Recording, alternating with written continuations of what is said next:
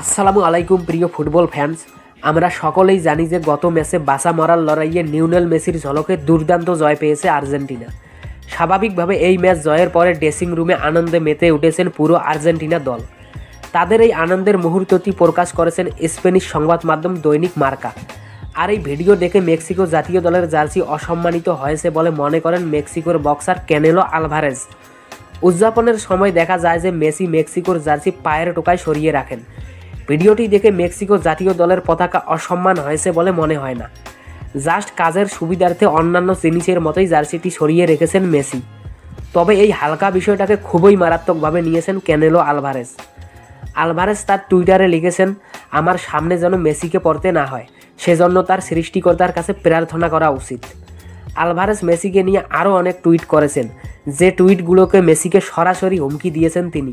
তার টুইটের জবাব দিতে দেরি করেননি সার্জিও এগুয়েরো।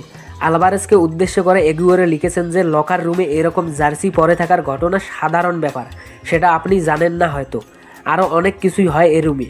মেসি অসাবধান বশত এটা করেছে, সে সকল দেশকেই সম্মান করে। ক্যানেলো আলভারস মেক্সিকোর একজন মুষ্টিযোদ্ধা। গত মে মাসেও বিশ্বসেরা হয়েছেন। শেষ করার আগে একটি ব্যক্তিগত মতামত দিচ্ছি মেসি যেটা করেছেন সেটা একেবারেই তুচ্ছ ব্যাপার। লক্ষ্য করলে দেখা যাবে যে ইমিলিয়ানো মার্টিনেজও টেবিলের উপরে উঠে অনেক জিনিসের উপরে নাচানাচি করেছেন। এগুলো খুবই কমন ব্যাপার।